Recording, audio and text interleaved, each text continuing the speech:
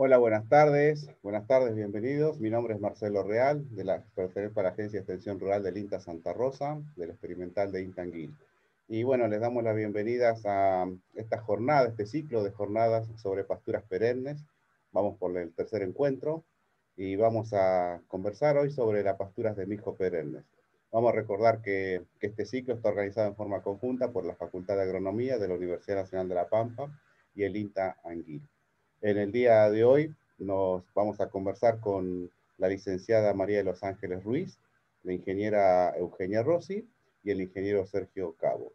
Eh, para, a modo de recordatorio, para comentar nomás, los dos encuentros anteriores, el primero que se realizó hace 15 días, conversamos sobre pasto llorón, el jueves pasado conversamos sobre alfalfa, bueno, hoy es sobre mijo, mijo perenne. Así que vamos a, a continuación, vamos a, escucharlos a ellos. Simplemente vamos a hacer una pequeña aclaración. Estos días hemos tenido algunos problemas técnicos de enlaces. Los tres eh, técnicos de, de Intanguil están presentes, pero a, para asegurar un poco que, que la presentación, que la exposición llegue como corresponde a ustedes, hemos decidido grabarlas pero como dijimos recién, los tres están presentes para luego al finalizar cada exposición o al finalizar la jornada de hoy puedan responder las preguntas. Así que bueno, vamos a, lo que vamos a hacer es vamos a iniciar el, la, presentación de la licenciada María de los Ángeles Ruiz, que nos conversó sobre aspectos que tenemos que ver con la, las, las semillas. ¿sí? Este, vamos a ver cómo un momentito. Este, ahora el problema tecnológico lo tengo yo.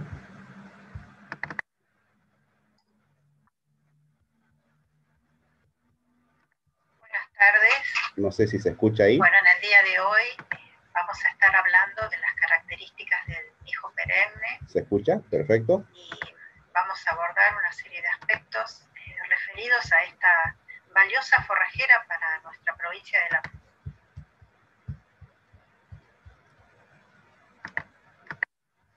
Disculpen, tuve un pequeño eh, inconveniente técnico.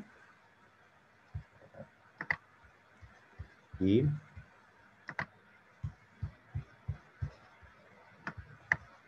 ahora sí.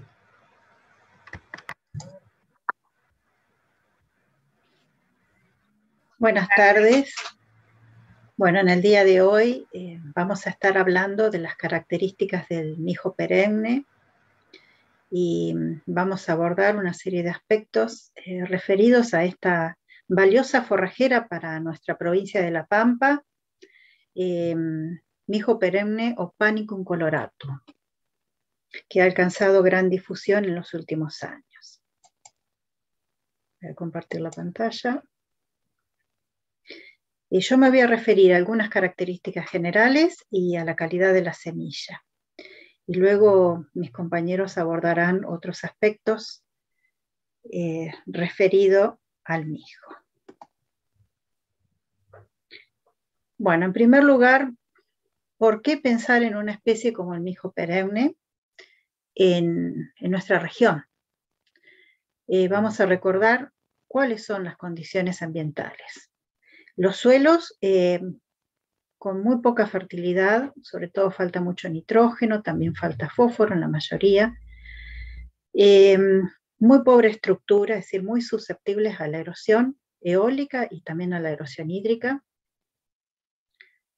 con registros térmicos bastante extremos, es decir, con heladas por un lado, pero también con temperaturas muy elevadas en verano, con elevada evapotranspiración, por lo general estamos ante una situación de déficit hídrico, con precipitaciones muy variables, muy estacionales y muy variables entre un año y otro. en muchos casos eh, tam, también está impedido el aporte de la napa freática porque hay alguna limitante, como por ejemplo tosca, un manto de tosca que está por debajo de la superficie. Y todo esto hace que una especie como el mijo perenne, que es una especie eh, que se la ubica dentro de las carbono 4, dentro de las megatérmicas. Eh, es muy, muy apta, muy apropiada para eh, ser utilizada en nuestra zona. Bueno, esta especie requiere, en cuanto a suelos, eh, suelo franco arenoso, profundo es lo ideal, pero por lo general no se eligen esos suelos para sembrarla. Por lo general se eligen suelos que tengan restricciones, que sean demasiado arenosos o que tengan un manto de tosca que haga de maceta, o en algunos casos em, hay especies de estas megatérmicas que se utilizan para bajos salinos. Em, no es una condición general que todas estas especies toleren la salinidad, sino que algunas de ellas y algunas variedades toleran estas condiciones, pero otras no. En general, todas las especies de este tipo megatérmicas eh, toleran em, el bajo nitrógeno edáfico, es decir, son menos exigentes que las especies carbono 3 o mesotérmicas como la festuca y el agropiro. Eh, en general, todas las gramíneas perennes mejoran la estructura del suelo porque tienen un sistema de raíces fibroso y profundo eh, que le da estabilidad justamente al suelo, le da estructura. En el caso de las megatérmicas, la temperatura óptima es una temperatura elevada que está por encima de los 30 grados centígrados. Con estas temperaturas tienen un elevado crecimiento, un elevado ritmo fotosintético, también eh, tienen requerimientos de alta luminosidad en general para poder trabajar bien, para poder producir. Eh, en el caso del mijo perenne, el mijo perenne resiste heladas, nosotros tenemos registros de que ha resistido heladas de hasta menos 18 grados centígrados, pero esta no es una generalidad para el resto de las especies megatérmicas, es decir, hay que ver cada caso en particular. La mayoría de ellas se helan, por eso no las utilizamos en nuestra zona. En el caso del mijo perenne, conserva algunas hojas verdes en la base eh, de la planta, aún en pleno invierno, es decir, no se hela por completo. De ahí viene el nombre del cultivar más difundido en nuestra región, que es el verde, cultivar verde. En cuanto a las lluvias, el límite son los 350, 400 milímetros. Eso eh, implica que es lo mínimo que debe recibir para poder implantarse, para poder eh, ser una pastura medianamente productiva. Obviamente, si llueve más, va a producir más. Y una característica que tienen en general todo este grupo de especies megatérmicas o carbono 4 es que presentan una mayor eficiencia en el uso del agua. Esto porque poseen un mecanismo de concentración del dióxido de carbono en el interior de sus hojas que les permite continuar haciendo fotosíntesis aunque cierren los estomas, que es el lugar por donde ingresa el dióxido de carbono y por donde la planta pierde agua. Es decir, para poder hacer fotosíntesis la planta se ve forzada a perder agua. En una situación de sequía, eh, esto no es conveniente. Entonces, las especies carbono 4, por ese mecanismo de concentración interno, pueden continuar trabajando aunque cierren los estomas para no perder agua. Eh, cuestión que les da ventaja respecto a aquellas que son eh, carbono 3 o mesotérmicas como la festuca, por ejemplo, para, para ejemplificar. En cuanto a plagas y enfermedades, son muy pocas, en general uno no ve que tengan las hojas enfermas, que sean atacadas, eh, pero lo que sí hemos visto, por eso colocamos allí las hormigas, es que eh, estas hormigas pueden comer sus semillas cuando caen al suelo, se las llevan, o también pueden comer las plántulas recién germinadas. Entonces, em, se han considerado algunos em, químicos para controlar las hormigas.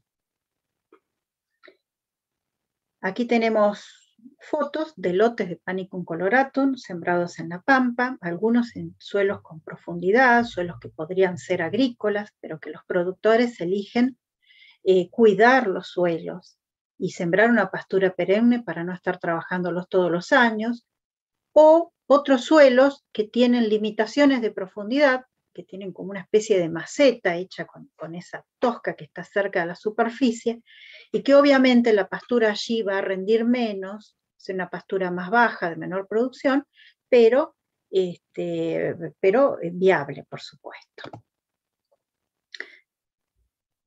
Bueno, para recordarles que dentro de la especie Panicum coloratum o mijo perenne tenemos dos variedades.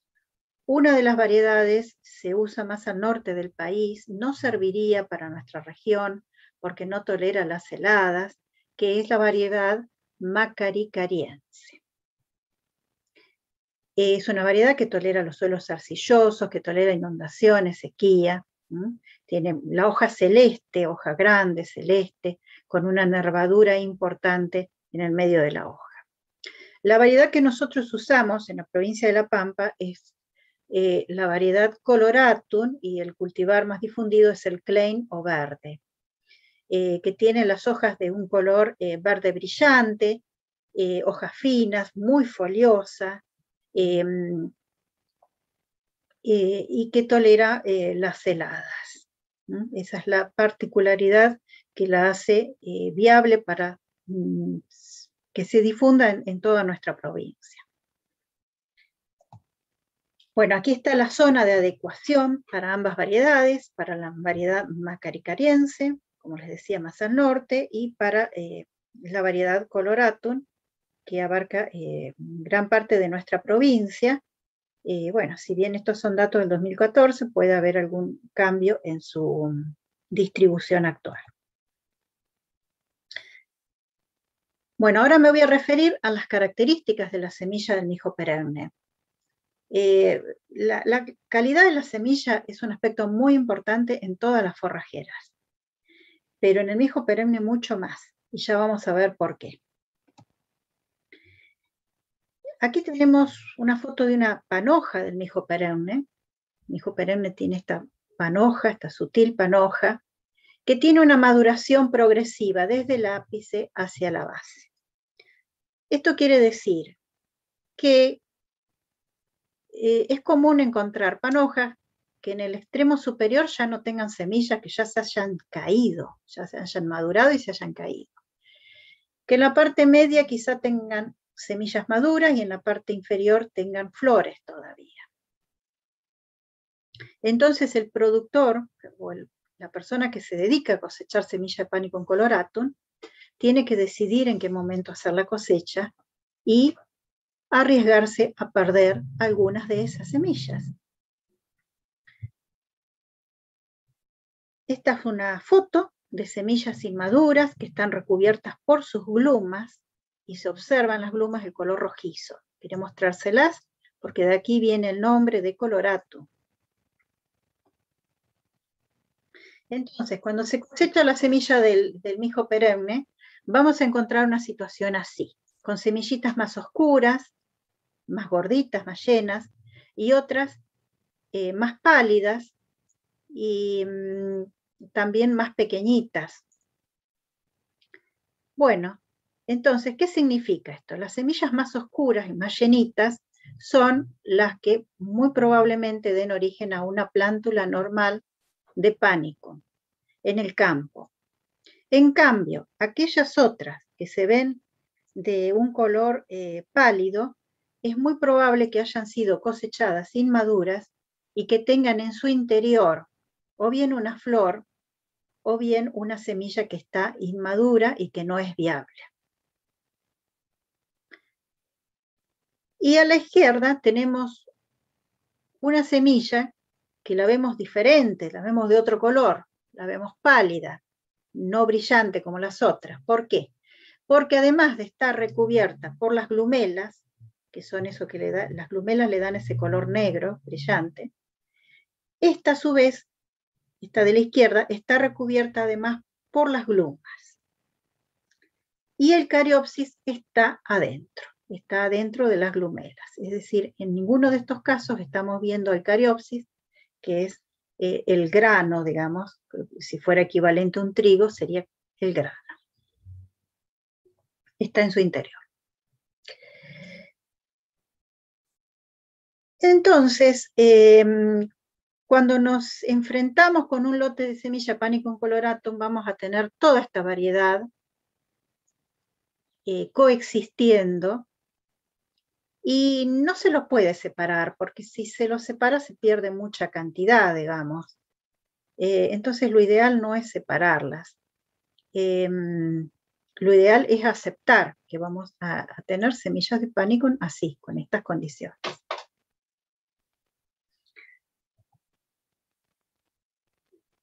Bueno, otra característica que tiene la semilla del mijo perenne es que tiene dormición.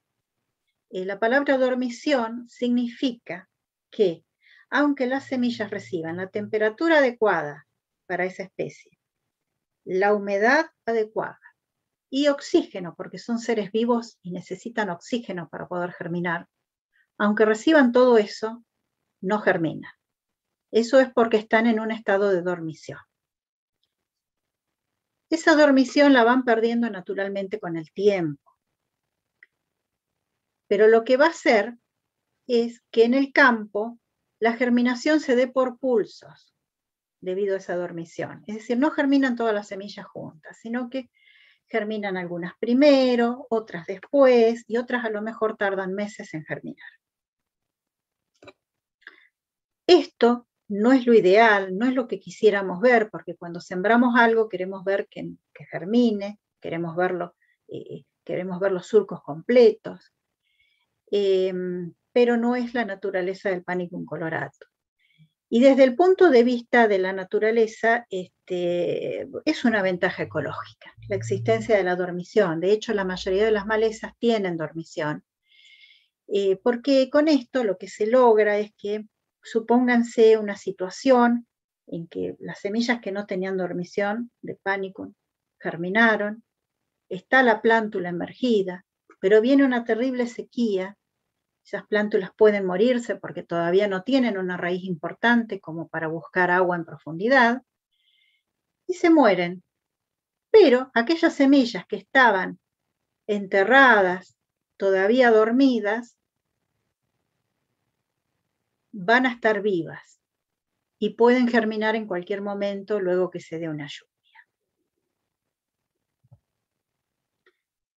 La pérdida de dormición Em, se da durante el almacenamiento, ya sea que la semilla esté en una bolsa o esté en el campo, enterrada, sembrada o sobre la superficie. Em, este es un ensayo que hicimos en Anguil, donde em, se está mostrando el poder germinativo de diferentes lotes de panicum. Uno había sido cosechado en Chacharramendi, uno en Toro y uno en Perú a diferentes meses luego de la cosecha. Y lo que quería mostrarles es que uno de los lotes, la barrita gris, no tuvo importante dormición. Es decir, ya eh, a los dos meses de cosechada germinaba bien, continuó haciéndolo hasta los seis meses y medio que se hizo la última prueba. En cambio, los otros dos lotes sí mostraban dormición, germinaban muy poco, al comienzo, los dos meses y medio que hicimos el primer experimento, y uno de ellos comenzó a germinar bien a los cinco meses, que es la barrita azul, y el otro, que es la barrita naranja, comenzó a germinar bien recién a los seis meses y medio. Es decir, que esperamos, en general, podríamos generalizar diciendo que la semilla de pánico puede tener hasta unos siete meses de dormición post cosecha.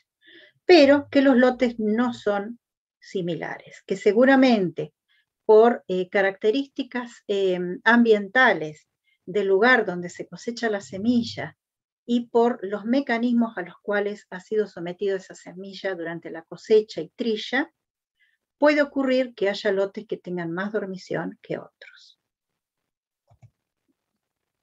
También hicimos un segundo experimento donde em, conservamos semillas a diferentes temperaturas. Las barras negras son semillas conservadas a temperatura ambiente. Y para una semilla conservada a temperatura ambiente, eh, a los 210 días, luego de la cosecha, ya no tenía más dormición. En cambio, si las conservábamos a temperatura de heladera o a temperatura de freezer, que son las barras claritas, las semillas continuaban teniendo dormición aún a los 210 días posteriores a la cosecha.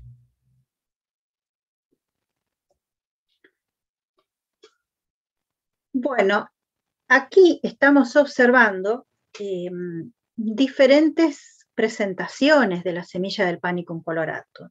Esta semilla no está peleteada, como vemos eh, aquí podemos apreciar las semillas negritas, que nosotros ya sabemos que son semillas buenas, em, que están maduras al menos. También podemos verlo peleteado, y los peleteados pueden ser diferentes. La foto del medio es un peleteado que como ven se ven bolitas, es decir, se ha perdido la forma original de la semilla. ¿Mm? Y bueno, se darán cuenta que estos peleteados eh, son, eh, van a tener, le van a aportar diferente peso a la semilla. Y hay que tenerlo en cuenta en el momento de definir las densidades de siembra. Bueno, algunas consideraciones respecto al recubrimiento o peleteado. Un peleteado bien hecho tiene que ser favorable para la semilla. Seguramente va a aumentar la velocidad de imbibición y eso va a homogeneizar la germinación. ¿Por qué? Porque están hechos con una base de carbonato de calcio que es muy afín al agua. Entonces, la humedad que esté rodeando a esa semilla peleteada va a ser absorbido por esa capa de carbonato de calcio y va a quedar disponible para el embrión. Pero, dice, precaución, que esa capa no sea muy gruesa. ¿Por qué? Porque si nosotros tenemos un suelo que no tiene mucha humedad, como sería una situación bastante común en nuestra región, semiárida, y si la capa esa de carbonato calcio es muy gruesa, es posible que la humedad que sea absorbido por el carbonato calcio no llegue al embrión y no llegue a producirse la germinación. El, el, peleteado también estabiliza el pH del suelo, esto es muy importante para las leguminosas. También mejora la fluidez de las semillas rugosas. No es el caso del Panicum colorato. Ustedes ya vieron la foto, la semilla de Panicum colorato es lisita, es decir, no tendría problemas para fluir. Em, pero sí es el caso de otras semillas, como la misma digitaria, que tienen pequeños pelitos o que tienen aristas, como tricloriscrinita o, o que ahora se llama leptocloacrinita, o Sencruz mm, o Baf, eh, y Baffel es lo mismo, em, grama, son, eh, todas esas son eh, semillas que requieren peleteado para poder fluir, porque tienen aristas, estructuras em, que de otra manera se apelotonan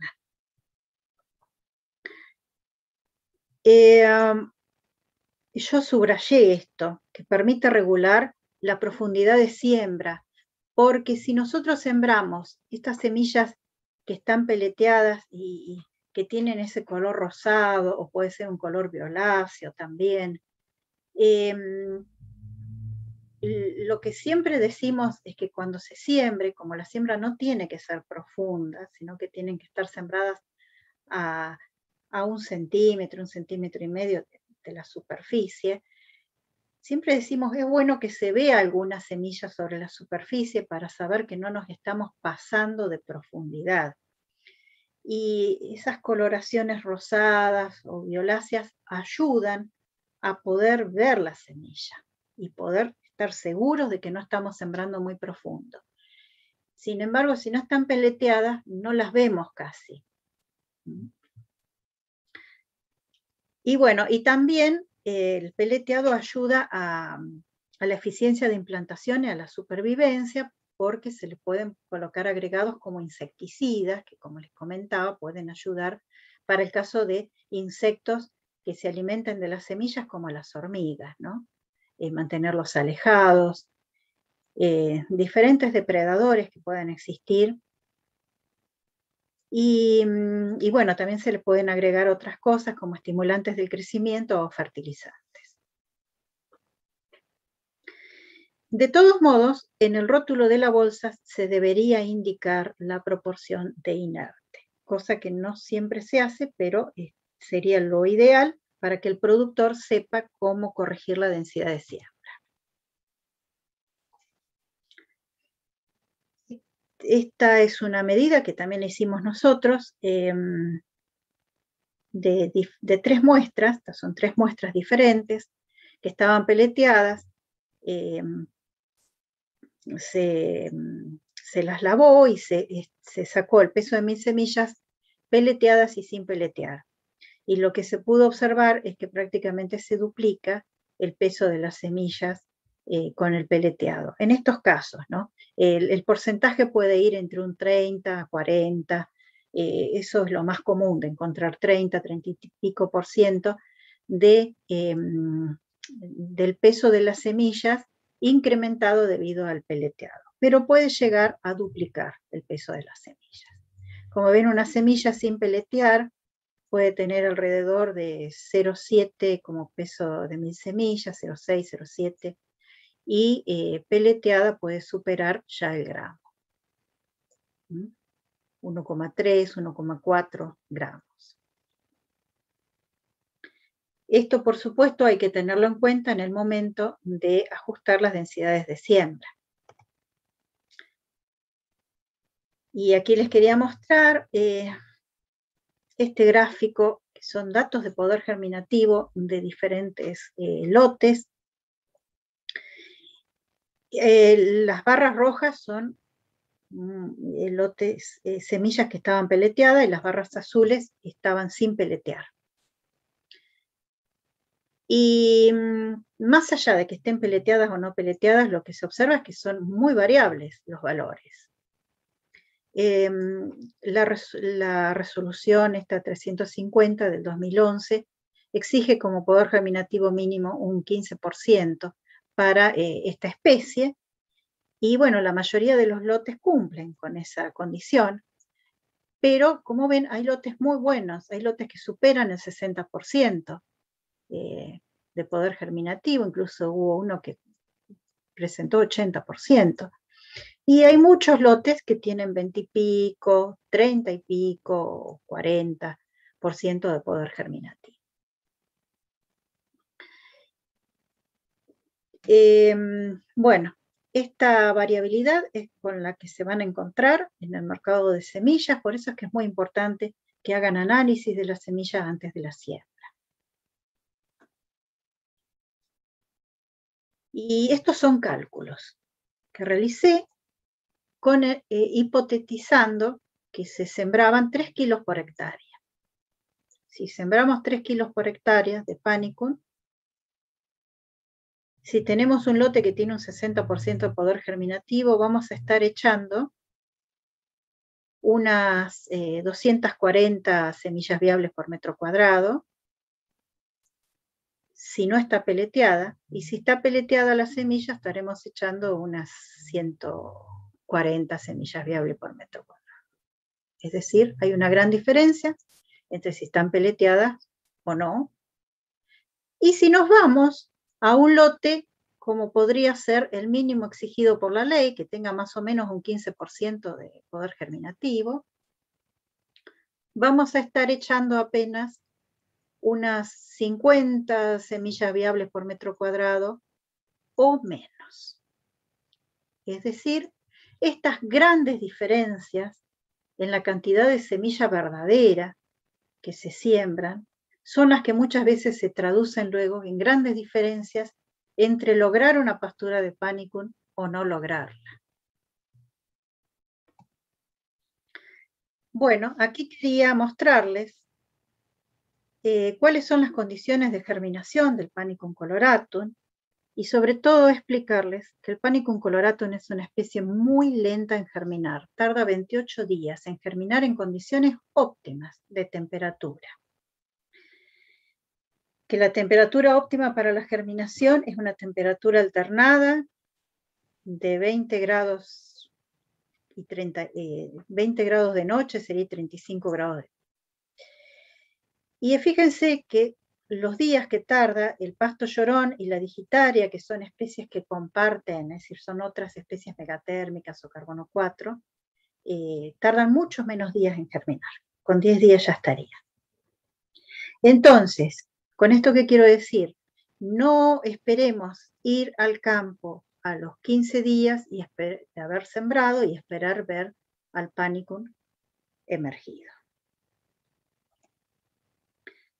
Con esto ya estoy terminando. son las consideraciones finales. Tener presente que la heterogeneidad es una característica de los lotes de semillas de mijo perenne, que vamos a tener diversas situaciones, semillas que estén dormidas, otras que no, de las semillas que están dormidas que estén en diferente grado de dormición, tener semillas en diferentes grados de maduración y de envejecimiento. Todo eso junto. Y que por lo tanto es necesario realizar análisis de pureza física, análisis de poder germinativo y peso de mis semillas antes de la siembra. No tiene sentido hacerlo después de haber sembrado. Y bueno, también se podría pedir eh, gérmenes vivos eh, por kilo, que es una manera que el productor puede pedírselo al laboratorio, que lo analice así. No es la manera permitida por la ley para el caso del, del mijo perenne, pero eh, si esto no es, le resulta más fácil al productor, sí puede pedir ese análisis al laboratorio.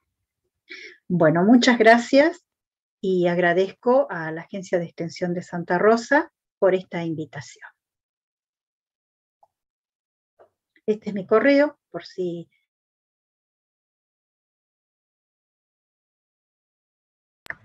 Bueno, quieren eh, dirigirse. Muchas gracias, Marita. Muchas gracias. Este, muy, muy linda la exposición, muy, muy interesante, con información realmente muy, muy buena, muy buena, muy, muy interesante, muy, muy práctica también. Vamos a recordarle a la, a la audiencia, a la gente que nos está siguiendo, que los tres expositores de hoy, la licenciada María Los Ángeles Ruiz, que acaba de, dar la exposición, como la ingeniera Eugenia Rossi y el ingeniero Sergio Cabo, los tres están presentes en las salas, los tres, los tres están siguiendo, por supuesto, esta, esta jornada, pero que la exposición hay una parte que está grabada justamente para solucionar o para evitar algunos problemas técnicos de, enlace que hemos tenido a lo largo de, la jornada. Y para asegurarnos que llegue a usted de la forma que, corresponde, bueno, una parte de, la exposición fue grabada. Pero los tres están presentes, los tres para satisfacer después las, las dudas, las consultas que ustedes nos quieran dejar. Las consultas o dudas pueden dejarlas en el chat, en el chat de YouTube tranquilamente. Nosotros allí las, las vamos recuperando y como los tres técnicos están presentes, van a, responderlas al, final de la jornada o al final de, las exposiciones.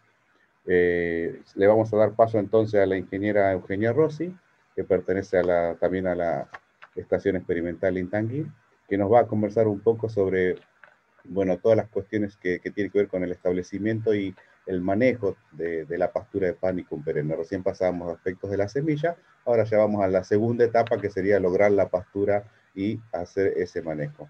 Así que bueno, comenzamos entonces a, escuchar y a ver qué es lo que nos dice la, la ingeniera Eugenia Rossi con respecto a este tema.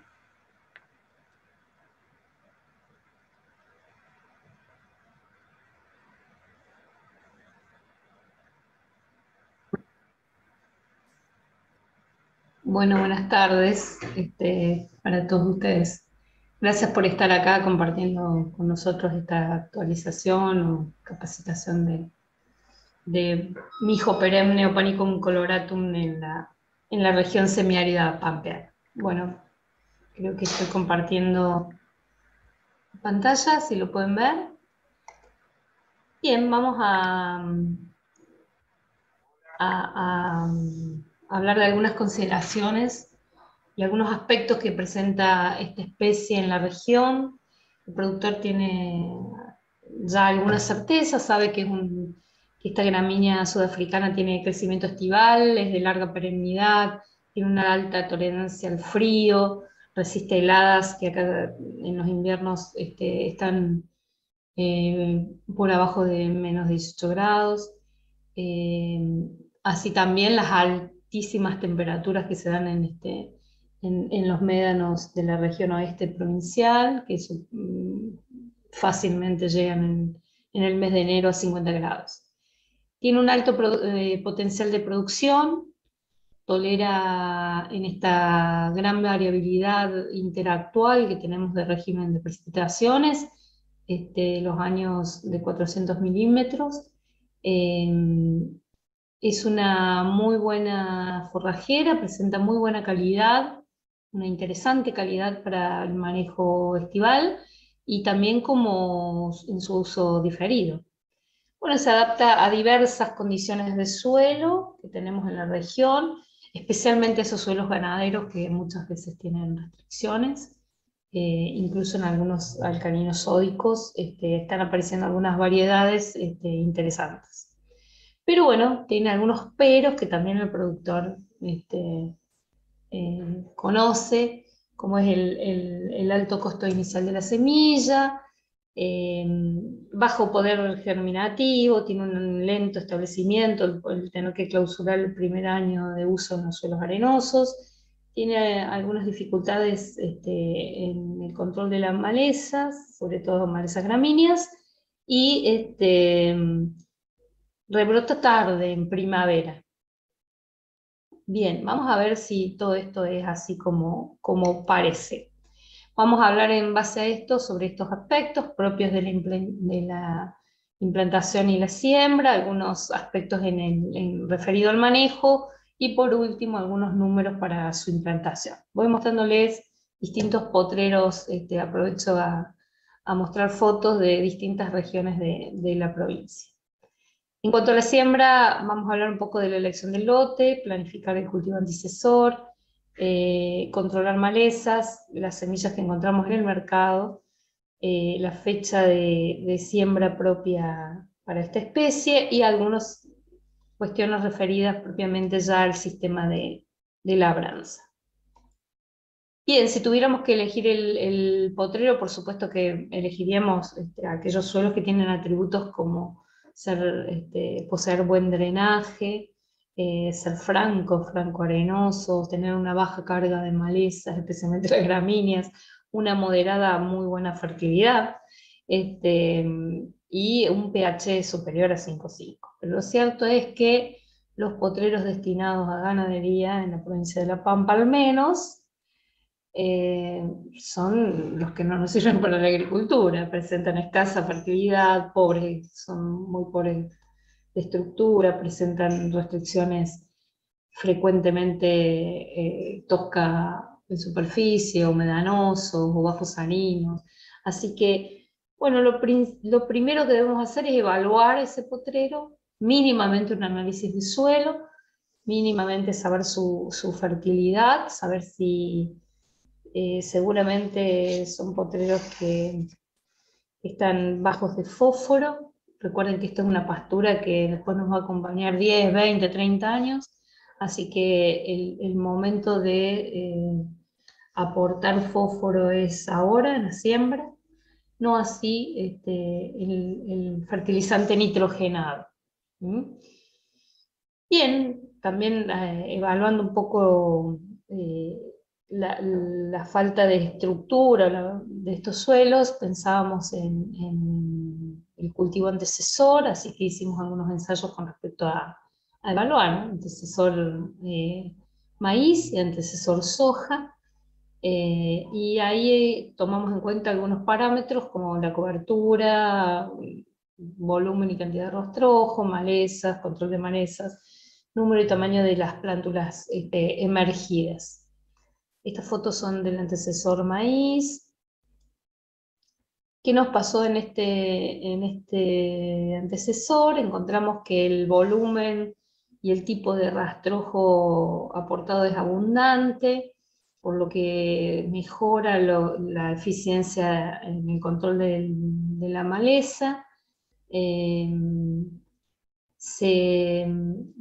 la germinación no fue, este, o sea, si bien el, la humedad aportada por esta cobertura fue mayor, también fue inferior la temperatura del suelo lograda en esa primavera, por lo que los pulsos de germinación no fueron este, eh, numerosos o abundantes, digamos. Este, hubo menos número de plántulas emergidas en los primeros pulsos, y sí aparecieron en los pulsos de diciembre, de enero y de febrero, cuando el mismo material, el viento lo había desparramado. El tamaño de los macollos también era muy desuniforme, cuando eh, lograba emerger había ya plantas macolladas y en febrero encontramos muchas este, recién germinando. Eh, bien.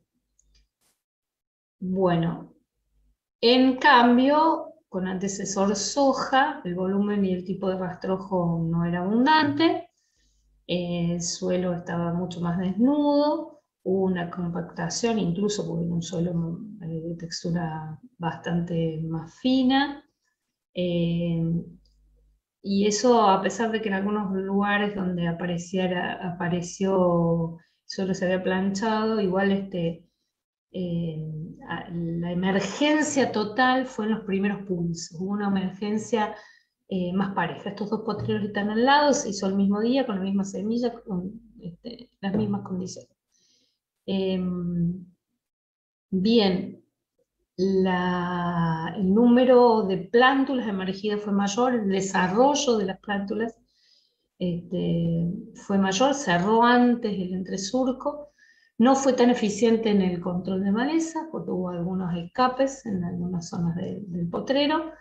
Em, se utilizó en el cultivo antecesor este, eh, algunos graminicidas, así que llegamos con, facilidad a cubrir el, entresurco. Probablemente porque la temperatura del suelo este, fue mayor a pesar de este, tener menos humedad para la germinación. Bien, debemos considerar que esta semilla, como ya les habló detalladamente Marita, Mm, pero debemos este, insistir en esta, condición natural que tiene esta semilla, que no hay ningún tratamiento de estratificación y escarificación que sea efectivo para romper esta dormición, es una estrategia propia de la especie que aún teniendo las condiciones de temperatura y humedad no va a germinar, no es un pasto llorón que a los 20 días podemos saber si falla o si ya está logrado el potre. Acá debemos esperar los pulsos. Fíjense que hay plantas en la foto inferior que ya están macolladas y en la que está cercana a la, lapicera recién está eh, rompiendo las hojitas seminales. Es un potrero en el departamento capital, cercano a Santa Rosa. En cuanto a las malezas eh, gramíneas, la estrategia que, sigue dando resultado es planificar el cultivo antecesor y ahí hacer el tratamiento correcto con, con herbicidas totales o, en el caso de, cultivo anterior de hoja ancha, este, eh, utilizar algún graminicida. Eh, después mantener limpio lo que resta del año con barbecho químico y este, llegar a la siembra con un potrero limpio, ¿no? un potrero donde ya se, se, bajó la presión de malezas. Estas fotos se las agrego para que tengan en cuenta que también a veces estas gramíneas se escapan, igual de todas formas, pero aparecen en los manchones de Roseta o en los manchones de Alepo, como en esta foto, o en, de Gramón, empiezan a aparecer entre medio de, esos manchones algunas plantas de panicum que han tenido recién, por la resiembra natural, y en menos de dos o tres años el potrero se, se cubre totalmente. Esta pastura por la falta de remoción y por la falta, digamos, por la presión y la compactación propia de la, del, pastoreo, empieza a, este, a ver que cada mes este, la presencia de malezas es menor. No así con una especie en particular en esta región, que es el pasto puna, que la, que la, vaca no, el animal no, la prefiere y entonces eh, tiene dificultades para, este, para eliminarla. Entonces hay que planificar también, una vez implantado el primer año o el segundo, un control invernal del pasto puna. ¿eh?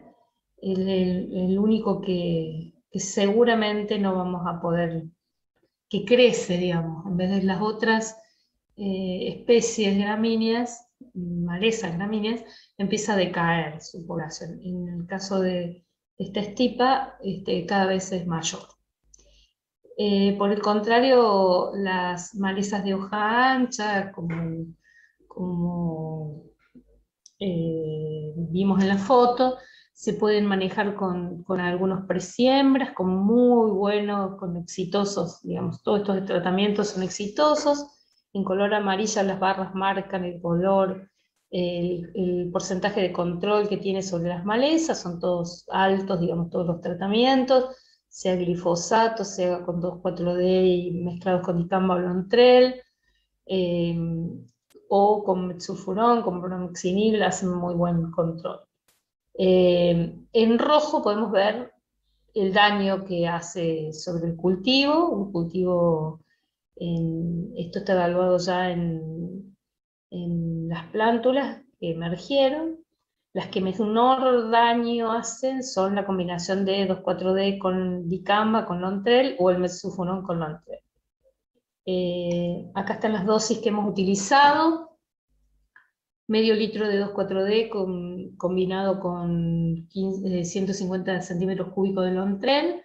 Tiene casi entre el 90 y el 100% de, de eficiencia en el tratamiento, de, en el control de las malezas y no tiene prácticamente daño al cultivo, igual que la mezcla de 4 gramos de, por hectárea de metsulfurón con 150 gramos de Lontrel no, no estarían mostrando daño al cultivo. Si tenemos en existencia dicamba y lo queremos combinar con, con 2,4-D, también es un tratamiento más que eficiente ¿no? para, para, para implantar estas en post-emergencia, la mezcla que mejor eh, funcionó fue 2,4-D con picloran, medio litro de 2,4-D combinado con 200 centímetros cúbicos de picloran.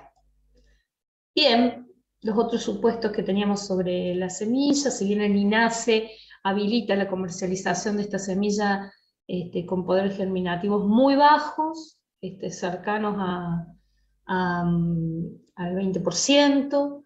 Eh, bueno, debido a esa dormición que posee la semilla, eh, existe en, el stock nacional y también, sobre todo en la semilla importada, que están trayendo algunos semilleros este, muy serios, excelente semilla y, pudiéramos, nos han llegado muestras este, de alrededor de, del 60% del poder germinativo. Así que si es, interesante hacer un, conseguir alguna muestra de esa semilla antes de adquirirla y que podamos este, eh, ver mm, qué poder germinativo y así adecuar las, las cantidades. Como les dijo Marita, la diferencia entre semilla desnuda y peleteada va a ser los kilos que echamos. Eh, recuerden que estamos incorporando como mínimo el 35% de material inerte, los, las buenas casas peleteadoras los hacen esto. Acá nos acompaña este, uno de los auspiciantes que es muy serio en esto, eh, Carlos Beso, que siempre este, hace peletear su semilla con Nova. Y, y la verdad que este, tanto el material como el porcentaje que utilicen en el peleteado este, no, no tenemos ningún, ninguna objeción, la verdad que son de altísima calidad. Eh, lo que sí, tratamos de que se agregue algún kilo, ¿cierto? Si el peleteado está alrededor del 30%, bueno, subimos de 6 a 8 kilos por hectárea. Si las condiciones de los sistemas de siembra son al voleo, con un rastrón, con un rolo y demás, también lo subamos, porque la verdad que la semilla no tiene una cama de siembra adecuada. Lo que sí, este, elegir muy bien la variedad, en el norte del país este, está muy defendida esta variedad Banbatsi, que es con una hoja más ancha, eh, que soporta negaciones, este, tiene mayor productividad, pero no soporta heladas. Nosotros debemos este, trabajar con Klein Panic o, la variedad verde. ¿no? Eh, bueno, Un aspecto a resaltar es la fecha de siembra para la provincia de La Pampa. Está eh, hemos probado estas siete fechas de siembra, muy tempranas, desde inicio de septiembre a octubre, que son estas que tenemos acá a la izquierda, y esta la, fecha 2, que bueno, esta es la, la repetición C, tiene varias repeticiones y varios años este ensayo, y está más que probado que las siembras muy tempranas son las que desarrollan un volumen de producción importante, que en el invierno eh, tapan enseguida, cubren el entresurco eh, y protegen en ese invierno la corona de, yemas que es la que rebrota en primavera. Por el contrario, las siembras este, tardías, la siembra 7 que vemos acá al medio, la, germinación fue más pareja porque tiene mayor humedad y mayor temperatura ese suelo, entonces lo hace casi todo en un pulso porque encuentra mejores condiciones, eh, pero eh, enseguida empiezan a aparecer las heladas de invierno que no permiten un gran desarrollo ni de la raíz ni de la, ni de la, eh, ni de la hoja, y entonces este, frecuentemente este escaso desarrollo logra proteger la corona, ¿no? Para, entonces las siembras tempranas, si bien tienen un peligro de, aquellas heladas tardías, las siembras muy tardías de febrero este, son complicadas por las heladas, las primeras heladas del, otoño. Así que bueno, en la región hablamos de, que para Panicum, evaluado un año después, cuáles plántulas han sobrevivido, para el pánico, fíjense que eh, la fecha de septiembre y la de octubre son las que mejores anduvieron. En cambio, para Tetragne, las fechas este, ya de verano y de inicio de, digamos, fechas más tardías son las que mejor funcionan.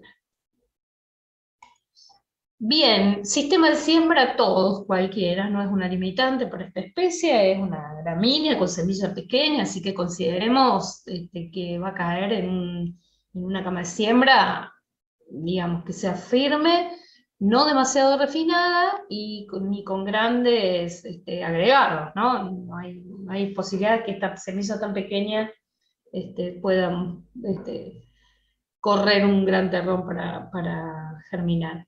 Así que la profundidad de siembra es muy importante, regulemos todo lo que podamos regular en, la máquina, hemos probado de todo, desde rolos con cajones alfagelferos, eh, un maracó, un rastrón, eh, semillas de eh, sembradoras de grano fino, con distribuidores de, platillos, de roldana, de rodillo canalado, sembradoras de directa, Todas sirven, depende del suelo, la preparación que han tenido. Esto no ha sido una limitante, como tampoco lo es la, distancia entre, entre líneas. Por supuesto que aquellas distancias menores, de 17 y medio, de 21, 23, enseguida tapan el, entresurco. Este, si la distancia es excesiva, es preferible dejar sueltas las, las mangueras y que se siembren un poco al, al voleo y que, la, y que la semilla quede en superficie tapada por alguna rama y demás.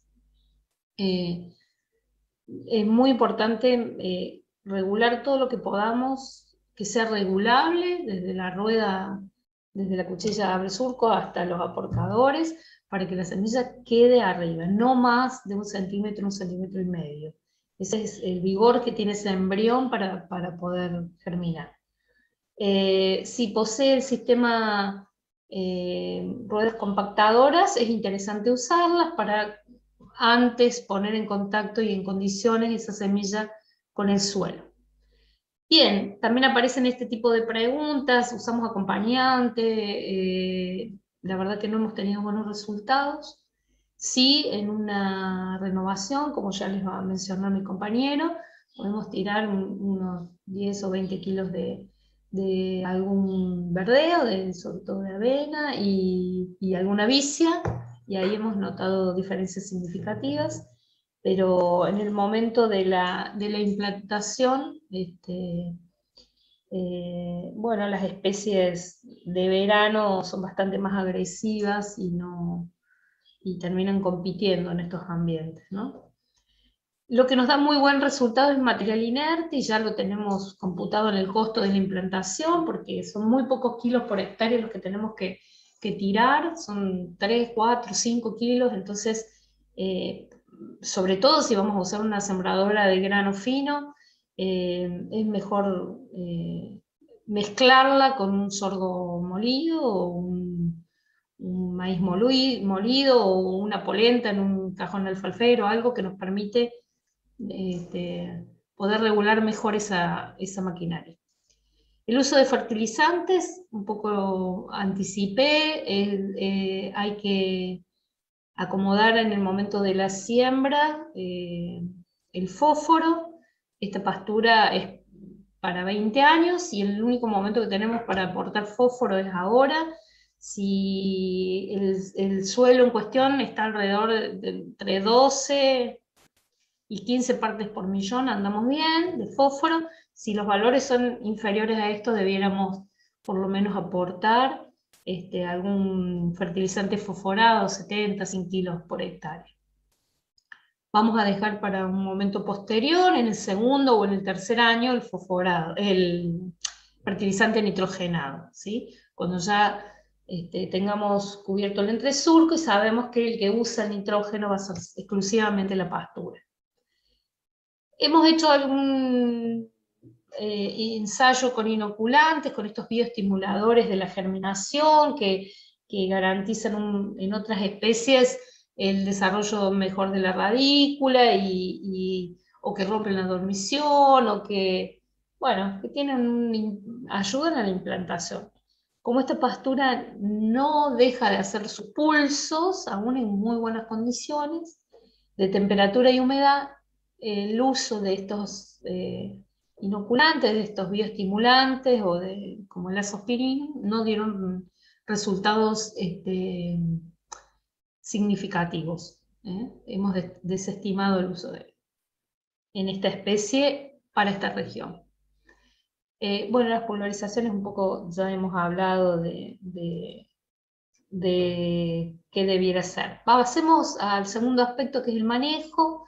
Estas hay algunas consideraciones también para, su manejo. Eh, esta es una pastura ya encañada, florecida. Esta pastura lo hace dos veces por, año, allá en, diciembre y también en febrero. Así que si lo vamos a usar eh, en el momento estival, debiera ser antes de que encañe, ¿no? antes de que, de que largue la panoja. Bueno, vamos a hablar de estos aspectos del del manejo en general, utilización en el primer año, calidad del forraje para poder decidir, el momento de uso que vamos a dar y planificarlo o, manejarlo según el requerimiento animal que tengamos en, cada categoría. Bien, acá sí aparece una diferencia notable. Hace unos años volvió la ganadería del cría al este provincial, que, que los pules de siembra de la, década pasada habían eh, eh, eh, corrido hacia el oeste. Esto implica que muchos de los de las potreros que habían sido usados para la agricultura, el productor quiera volver a perennizarlos y para nosotros fue todo un, volver a, a, hacer y a probar y a medir otras cuestiones en perfiles con estructura y con, texturas más finas, ¿no? y más estructurados, con más materia orgánica, eh, mayor fertilidad de lo que estábamos acostumbrados. Entonces vamos a hacer una diferencia en los perfiles netamente medanosos del oeste, No está recomendado la utilización el primer año, si bien podemos notar un buen desarrollo de esa planta, no soporta este, el pastoreo directo porque, bueno, no tiene no está muy bien arraigada, ¿no? Este, es arrancada con facilidad y se pierde. Eh, así que diferimos el uso de ese primer año hasta que se produzca la, resiembra natural, que en el oeste provincial, en, el Médano se da exitosamente la resiembra, eh, coloniza los espacios y, logra cubrir muy bien la superficie, no así en el este, en el este no es un fenómeno que llame la atención la resiembra, por eso debiéramos empezar con más kilos en el este provincial para, para garantizar la implantación, la germinación es eh, más este, uniforme y permite el uso de una comida rápida en, el primer año, eh, de, realizar rollos o también este, eh, de cosechar semillas, ¿no? Ha sido las experiencias nuevas de, estos potreros implantados en la última década acá en el este provincial. Bueno, marco nuevamente la diferencia, en el oeste recién cuando se logre una cobertura del 60% estaríamos en condiciones de, utilizarlo el primer año. Esta cantidad, les he puesto esta foto para que puedan evaluar la cantidad de semilla y la resiembra natural que se obtiene de, esta especie. Pasando un poco a lo que es calidad de forraje, eh, esta especie presenta desde muy buena digestibilidad, cercana al 70% en primavera, baja un poco en verano, en otoño baja aún más, y termina con una digestibilidad cercana al 50%. No baja tanto como un llorón porque siempre posee en el interior de la mata alguna hoja verde que nos va a elevar la proteína y, entonces la digestibilidad. Pero comparado con este, las otras especies, anda muy bien, muy cercanas a una digitaria, que es un uno o dos puntos superior en, calidad. En cuanto al volumen, para estos ambientes, que tenemos una media de 600 milímetros, en los años de 400, 450 milímetros, este, estamos cercanos a las 3.000, 4.000 toneladas por, oh, perdón, kilos de materia seca por, por año, por hectárea por año, este, eh, y eh, en los años de, de mayor precipitaciones estamos cercanos a las 7, 8 toneladas. Podemos hablar de una media de 5.000 kilos para la región, para, un año normal de, 6.000, de 600 milímetros. Bien, esto es lo que debemos definir según la calidad que, que tenemos, de digestividad y de proteína, si vamos a aprovechar el crecimiento estival o si vamos a aprovechar el rezago. Esto me permite trabajar con algunas categorías más bajas, terneros, algún novillito, elevar puntos de condición corporal en la, vaca en algún momento, sostener alguna lactancia, este, y eh, por el contrario, cuando ya las categorías, eh, la única categoría que podría estar trabajando con un rezago diferido sería la vaca de cría en, en, alguna condición de que ya esté, digamos, con los requerimientos al mínimo, ya esté destetada. ¿eh? Esta es en la zona de cereales. Esta foto eh, fue un ensayo de, con fertilizante. Quería mostrárselas porque vean que donde, donde el fertilizante estuvo en mayor dosis, también demoró la, subida de, la panoja. Este, se, alargó notablemente eh, eh, la subida de floración.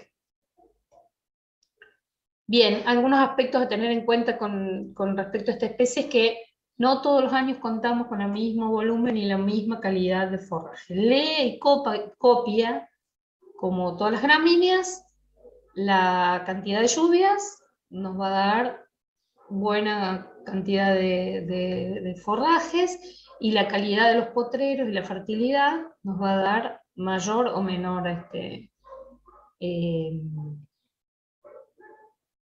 calidad de forraje.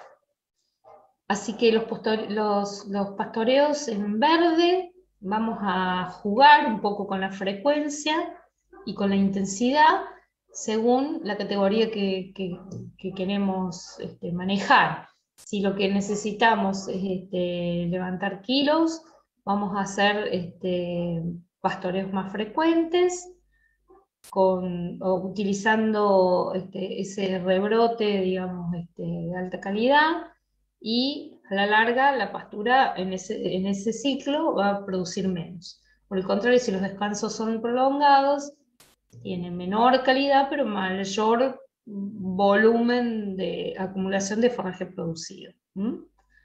Em, con respecto bueno, a la fertilidad, ya les dije, si esta es una pastura que, que responde este, exponencialmente a la presencia de nitrógeno.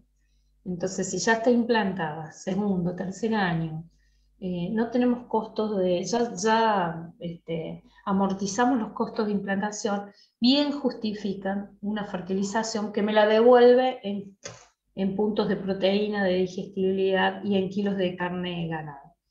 Este es otro uso frecuente cuando dejamos potreros diferidos, este un potrero de la zona de Colonia Barón, que este, tenemos que tener en cuenta a la hora de diferir esta pastura.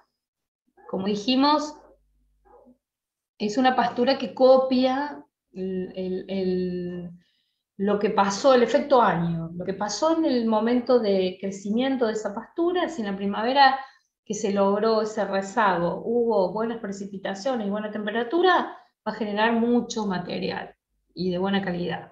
Si la fertilidad del potrero además fue buena, tiene, dispone de nitrógeno, hemos tenido excelente, fíjense, la parte baja está llena de hojas verdes y, teníamos una, una, digestibilidad cercana al 55% este, y una proteína que también era interesante para mantener una vaca. ¿Qué dos cuestiones podemos jugar eh, en, la planificación del uso diferido? Por un lado, ¿Qué es lo que voy a diferir? La edad del, rezago, no es lo mismo diferir clausulo el lote desde octubre, que crezca hasta febrero marzo, y recién lo, o sea, todo, difiero todo el material, o eh, crece en primavera, lo, le doy una comida rápida antes que semilla o después que semilló, bajo esas varas, y empieza a crecer desde mediados de enero hasta febrero, marzo, solamente eh, difiero el crecimiento del año. Acá hay diferencias, hay numerosos ensayos de la Facultad de Agronomía del INTA y demás, donde este, está comprobado que hay mayor calidad en, cuando solo diferimos este, crecimiento de verano, ¿no? y no toda la estación de, de, crecimiento. Por otro lado, también podemos planificar el momento que vamos a comerlo. ¿sí? No es lo mismo si bien es diferido, no es lo mismo consumirlo en abril-mayo que en, agosto-septiembre. Hay una pérdida de láminas, este, de la proporción de láminas que hace que, que decaiga este rezago, esta calidad. La altura, la intensidad con que vamos a comer. Fíjense acá lo que les decía, siempre la panoja este, tiene algún, la la mata tiene la presencia de algunas hojas verdes, así que bueno, vamos a mantener la antigua y vigente ley del puño, por abajo de 10 centímetros no lo comemos para poder proteger este, las yemas de, rebrote. Bien, vamos hacia una categoría de novillos que se han probado este, con ganancias de peso con utilización este, estival. En, noviembre tenían un kilo de aumento de peso y va bajando a medida que baja la proteína y la digestibilidad, y en febrero apenas este, supera los 600 gramos de ganancia diaria. En terneros, esta es una gran herramienta, es interesante, fíjense que cuando tiene 14% de proteína y una digestibilidad del 67%, nos permiten ganancias de 800 gramos por día, comiendo 4 o 5 kilos de materia seca. Ya en el verano cae esta proteína y podríamos estar este, suplementando con medio kilo de speller sería suficiente para sostener la ganancia de peso. Una pastura, un recurso más que interesante. Y ella en, en febrero-marzo, donde decae a 8% de proteínas, tendríamos que estar pensando en suplementar con algo más de energía, pero nada que nos vuelque el bolsillo, digamos. Un kilo de speller y 700 gramos, este, medio kilo, 700 de maíz, es totalmente manejable en una en una, en una recría, ¿no? Este, para los números de una recría es más que interesante. No así ya en el invierno, que no nos serviría para esta categoría, pero sí para eh, la vaca. Muestro un ensayo que se, un módulo eh, que se que estuvo en la estación experimental durante ocho años, donde se evaluaron este, eh, un módulo de cría eh, aquí se tuvo en cuenta eh, la condición corporal, se utilizó dos gramíneas perennes, medio año se tenía sobre pasto llorón y medio año sobre pánico diferido, no se utilizaba el mijo en verde y se logró estos valores, con un potrero de llorón de 50 años, más que amortizado, y con un mijo perenne de 30 años, más que amortizado. No tuvo más que una renovación por fuego en la mitad de, la temporada, a los 4 o 5 años. Eh, las lluvias fueron típicas de esta zona, entre 400 y 800 milímetros, con la media de 600. El pulmón fue eh, la carga animal. Podíamos subir o bajar, depende de la disponibilidad, porque acá fue donde medimos 3.000 kilos a 7.000 kilos, depende del año en cuestión. Pero fíjense estos números, teníamos una preñez del 90%, 120 kilos de, ternero al destete y 100 kilos de media de producción de kilos de carne por hectárea. Bien. Bueno, vamos a apurar. Esta, este módulo eh, manejaba estas tres cuestiones, la pastura, la duración de la lactancia, el destete, lo manejábamos más largo, más corto según el año, y la condición corporal. Ganaban condición corporal en verano y perdían un punto en el invierno en el pánico, funcionando muy bien. Este era el planteo, seis meses en el llorón y seis meses en el mijo perenne, ¿sí? Donde, bueno, se usaba lo peor del pánico, podríamos plantear otra situación donde el requerimiento es alto, usar eh, el rebrote de llorón, pasar en, noviembre al rebrote de, de pánico, eh, luego volver allá por, por enero, febrero a comer el llorón que rebrotó y comer la, calidad intermedia de, de, febrero, marzo de pánico o abril, cuando todo está en alta y donde los requerimientos todavía son altos, porque tenemos la lactancia, el servicio, hacemos el destete, y ya cuando bajan los requerimientos, utilizar otros recursos como rastrojos diferidos, silos o el mismo monte. Esto va a hablar mi compañero, así que yo no me voy a demorar, pero sí eh, insisto en que en el este provincial esté planificada la renovación de este potrero, porque la compactación aparece eh, no por falta de plantas, como pueden ver en, esta foto, sino por, compactación por el pisoteo, por el pastoreo, y hay que este, descompactar en, estos suelos que tienen textura fina. Bien, por último vamos a ver costos, que es lo que nos acerca el ingeniero Lorda para esta temporada, con los valores que tenemos al día de hoy de dólar, de UTA y, el precio del, gasoil. Eh, nos hace dos planteos, una siembra para siembra convencional, con una disqueada mm, para anterior al barbecho y una anterior a la siembra o, o rastre sembradora, como ustedes quieran, esto lo pueden abaratar, por contratistas son alrededor de 8 mil pesos, por administración propia 5 mil, de insumos tenemos lo mismo, 3 mil, solamente contempla la semilla, el material inerte que le agregamos los este, herbicidas post-emergentes, una aplicación de herbicida post-emergente, está contemplada acá también.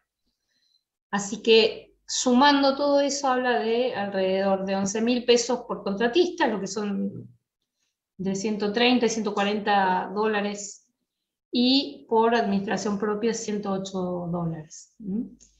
En el caso de la siembra directa, que incluye dos pulverizaciones, una presiembra para el barbecho química y una posemergente, incluye 50 kilos de fosfato eh, a la siembra, y bueno, lo mismo, semilla y material inerte, este, y los dos herbicidas posemergente, eh, como las labores son, bueno, dos, dos pulverizaciones y la sembradora directa.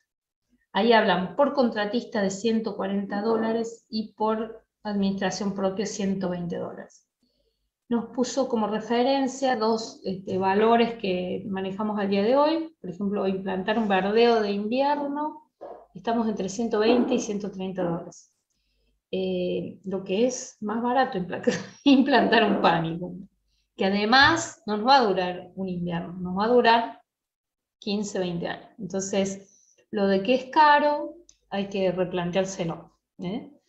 hay que analizarlo. Ni bueno, una pastura consociada sale 200 dólares y, ni hablar si estamos hablando de, un cultivo anual que estamos alrededor de 300, 400 dólares.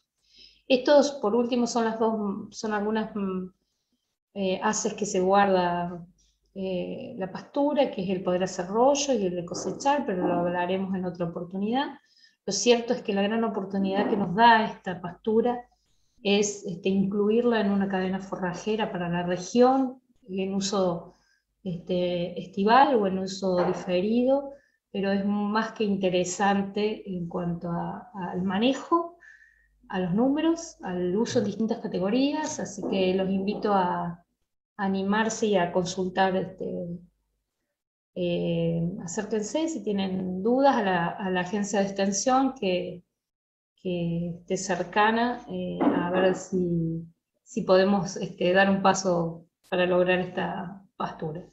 Bueno, muchas gracias. Les, adjunto las direcciones de, correo nuestras. Este, gracias nuevamente por compartir. Eh, bien. Muchas gracias, Eugenia. Bueno, ahí pasaba entonces la ingeniera Eugenia Rossi, que nos estaba, estuvo comentando entonces sobre los aspectos que están relacionados con lograr la pastura, esa parte tan, tan difícil, tan complicada, algunas cuestiones que tienen que ver con el manejo y por supuesto finalizó con la parte económica que siempre es, importante conocer eh, para estos tipos de cultivos. Recordamos, estamos en el tercer encuentro de lo que es esta jornada sobre pasturas perennes en la provincia de La Pampa, que organizamos en conjunto entre el Intanguil y la Facultad de Agronomía de la Universidad Nacional de La Pampa. Eh, ahora le tocaría la disertación al ingeniero Sergio Cabo. Vamos a recordar, sí, una vez más, para quienes nos están viendo, que para evitar algunos problemas técnicos, parte de las disertaciones de, de los mismos disertantes, de los mismos oradores, eh, ha sido grabada previamente, pero están todos presentes justamente para responder las preguntas y continuar con la presentación. Así que si ustedes me, autorizan, ya mismo preparo todo para que el ingeniero Sergio Cabo, que nos está mirando allí, que lo vemos allí que nos está mirando también, este, y está preparado, eh, yo le voy a preparar al ingeniero Cabo entonces para que él ya pueda comenzar también con su, con su disertación.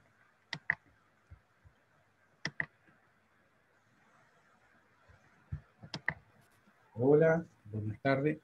Mi nombre es Sergio Cabo, soy extensionista de la agencia de extensión de GUI y bueno, me toca en la última parte de la, charla sobre pánico, sobre renovación o recuperación de la pastura. Eh, bueno, ya por expuesto con Marita Ruiz y, y Rossi, nos destacaron los aspectos más importantes de, de la implantación de la pastura, bueno, ya eh, la tenemos implantada, que ya por sí es muy importante, pero bueno, estas, estas pasturas eh, son, como habían señalado, de, alta perennidad, de alta producción a, nivel de, tiempo, pero bueno, son pasturas que, bueno, si no se cuidan, eh, a lo largo de cuatro o cinco años ya puede haber empezar a tener síntomas de degradación.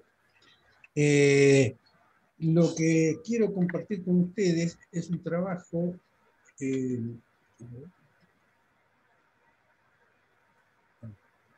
eh, eh, quiero compartir con ustedes unos indicadores sencillos, observables y medibles, y un trabajo que se realizó en, la Universidad de Córdoba, en la Facultad de Ciencias Agropecuarias de Córdoba, sobre la renovación de un en Colorado en el norte de la provincia. Este, así que eh, estoy utilizando el marco teórico de introducción eh, sobre, sobre la, la, recuperación de esta pastura. Eh, bueno, las, las, pasturas, estas megatérmicas, no necesariamente es para el pánico, sino también sirve para el llorón o la vegetarios. después de, de, varios años, digamos, empiezan a, a perder productividad, ¿no es cierto? Bueno, ¿cuáles son los síntomas que nos reflejan que las pasturas están perdiendo esta condición? Bueno, la principal es la, disminución de la producción de forraje. Ya eh, a través del tiempo, ya incluso los productores empiezan a señalar que ya las pasturas no producen como antes, ¿no es cierto? Bueno, ya es uno de los síntomas. Eh, eh, los, los, otros síntomas son que eh, esas pasturas o, la planta empieza a, perder vigor en lo que se refiere a altura, reducción de apoyo, también hay una pérdida de plantas, y también hay una pérdida de temperatura. Otro de los síntomas es que también va perdiendo calidad nutritiva este forraje, ¿cierto? Y se va agregando otros síntomas que están eh, apareciendo en los potreros, que es la presencia de, de maleza, va ganando la, las malezas que generalmente más espontáneos o más naturales de, la zona. Y también eh, están ocurriendo cambios a nivel de suelo, todo lo que se refiere a la composición química de, la pérdida de, nutrientes y también la pérdida de estructura física del suelo, que se refiere principalmente a compactación. Bien, una vez definido un, poco los síntomas, bueno, ¿cuáles son las causas, cierto?, de esta, de esta de esta pérdida, ¿no? de esta pérdida, de esta condición de producción de la, de la pastura. Bueno, de, de, las principales hay las cinco causas, ¿no es cierto? Estas causas generalmente, eh, en general, están vinculadas. Una, una, por sí sola no es la causa de la, de la, pérdida de la condición de la pastura, pero generalmente eh, una de las principales es el manejo, el pastoreo, ¿no es cierto? Eh, haciendo referencia al, sobrepastoreo, a la, a la presión que se le hace a la pastura a través del tiempo. La, la otra causa fundamental es la, la compactación del suelo que, sufre a través del tiempo, que es eh, perder la, la, condición de la, falta de, nutrientes, lo que se refiere a la infiltración y captación de agua del suelo, y bueno, por supuesto la, la compactación eh, depende de la, de la, textura, ¿no es lo mismo un suelo donde está implementada una pastura, un suelo arenoso que tiene un 90% de arena, y no un suelo franco arenoso que tiene un 60 o un 70% de arena, o un suelo franco que tiene un 40% de arena y el resto un 60% de, de textura fina cilindro, ¿cierto? Eh, otra de las causas eh, es, como había señalado anteriormente, bueno, eh, que van apareciendo otras especies que son naturales, de montaña, ¿no es cierto?, son de menos calidad, que son más adaptadas al, medio. Eh, y bueno, estas, estas causas, bueno, como había comentado, están vinculadas sobre el, el, el sobrepastoreo, la pérdida de plantas, y ¿no esos espacios lo van ganando la maleza. En este caso, eh, en la factura de, de, estas megatérmicas, de pánico o de llorón, generalmente eh, son, eh, digamos, las, las, especies gramíneas naturales como el puna, ¿no es cierto? Lo que nosotros llamamos el complejo de, de especie de paja. Y después, otra de las, de las causas que nos, nos, pasa en nuestra región semiárida son las condiciones climáticas adversas. Nosotros a veces tenemos ciclos de años con bajas precipitaciones, eh, eh, natural, ¿no es cierto? Que, bueno, son causas que se vinculan también con el, el pastoreo, que uno hace presión por la falta de pasto sobre la pastura, bueno, y eso también hace que se pierda la, condición de, la pastura. Y otra, y por último, una, otra de las causas que podemos nombrar, tal vez sea la falta de adaptación de la pastura al medio. Eso significa que, bueno, por ahí están algunas pasturas implantadas al límite, digamos, de la zona de, de supervivencia de las pasturas donde se implantan, ya que, bueno, es una pastura que el límite de las precipitaciones eh, donde pueden sobrevivir o producir es alrededor de los 400 milímetros. Y puede ser también que, bueno, ha pasado que también eh, se hayan implantado en, en, lotes con ciertas limitaciones de profundidad, eh, que finalmente la tosca la tenemos 40, 50 centímetros. Bueno, eh, es, una, es un, medio, digamos, que a veces es difícil de, de, la, de una pastura. Bueno, una vez ya definido eh, los síntomas y las causas, eh, eh, es interesante, o por lo menos importante saber en qué etapa del deterioro se encuentra esta pastura. esta tabla es una tabla que adaptó Roncedo en 2007, que hay una serie de indicadores secuenciales pero nos permite decir, bueno, de acuerdo a los síntomas y a, las causas, digamos, en, qué etapa de la degradación eh, nos, encontramos con la, con la pastura. Eh, es un, son indicadores de, degradación secuencial, esto significa que un estado de, degradación inicial de la pastura eh, es cuando nos encontramos con los tres primeros indicadores, el menor producción de forraje, menor cobertura de, de y hay una pérdida incipiente, digamos, de la fertilidad química del suelo. Eso sería, digamos, una etapa inicial, digamos, de, de la pérdida de condición de, de, la pastura. Esto significa que estamos dentro de una situación óptima que todavía tal vez no requiera la acción de, de técnica de, recuperación, pero sí hay que estar atento. Ahora, si continuamos con estos indicadores secuenciales eh, avanzando, o sea, si se nos agrega que hay una pérdida de calidad de la pastura, hay menor altura de planta, hay mayor incidencia de malezas, ¿no es cierto? Y, hay, y si ya se nos agrega la, la pérdida de, de, la fertilidad física, ya empezamos a tener compactación, eh, ya con esa suma de los indicadores, ya nos encontramos en una etapa intermedia, considera Roncedo, de, deterioro de la pastura. En este caso es una situación recuperable, ¿no es cierto? A través de una, eh, la implementación de una o, o, más técnica. Ahora, si ya después de siguen avanzando estos indicadores, se suma la aparición de suelo desnudo y la aparición de, de hormigueros, que es uno de los indicadores que Rosero indica, bueno, ya eh, considera que es una etapa final de la, del interior de la partida. Eh, significa que, bueno, que ya no permitiría una recuperación, solo queda la renovación de la misma mediante la implantación de una nueva pastura. Entonces acá, eh, en esta tabla, lo que indica, digamos, el concepto, digamos, los conceptos, digamos, lo que diferencia lo que es recuperable y lo que es renovable. Recuperable, bueno, es, cuando todavía estamos a tiempo, a través de una acción, de poder eh, rehabilitar esa pastura.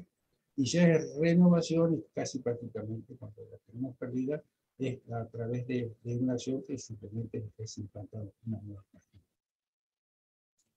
Continuando en la, en esta última tabla, eh, también eh, una adaptación de Rosedo, nos indica acá con unos rangos, una numeración, eh, como es, en qué estado se tiene que encontrar una pastura que se pueda recuperar.